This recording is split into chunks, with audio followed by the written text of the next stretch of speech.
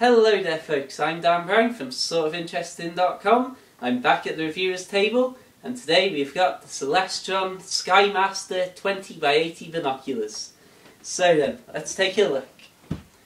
Well, I bought these binoculars for the purposes of astronomy and you may wonder why I didn't go for a telescope.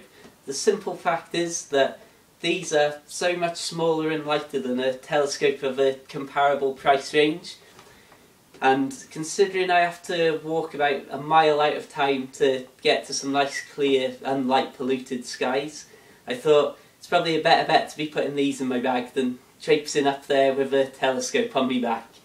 The only real downside to binoculars rather than a telescope is you're going to have smaller objective lenses and you're stuck with whatever magnification the binoculars are.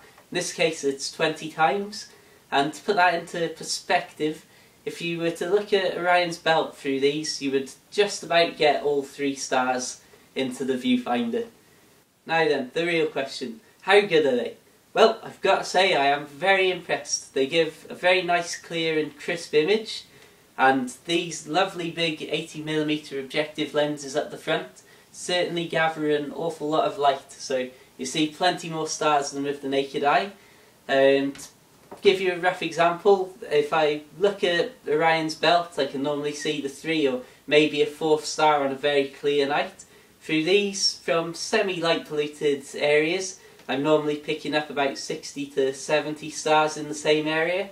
And on very, very good conditions, in very dark sky, I've been able to see well over 100 stars with them. I've also managed to get some good views of Jupiter and three of its moons, as well as Saturn with a clearly defined little line to denote where the ring is. I also like to take these out for some daytime viewing and climb little hills in the area so I can see the landscape around me.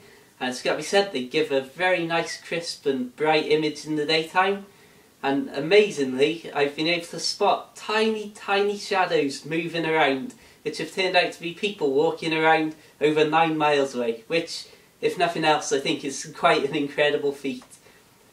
All in all, it's got to be said, I am very impressed with these. Been using them for about, I know, over two months and haven't really got any complaints at all. The only thing that I would say is definitely something to consider is that you're very likely to need a tripod as even though they're much lighter and more portable than a telescope, they still weigh in at around 2 kilograms.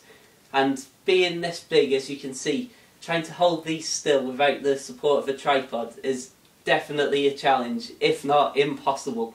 So, take a look at sortofinteresting.com or click on the link in the description to see my full review and links to this on Amazon, hint hint.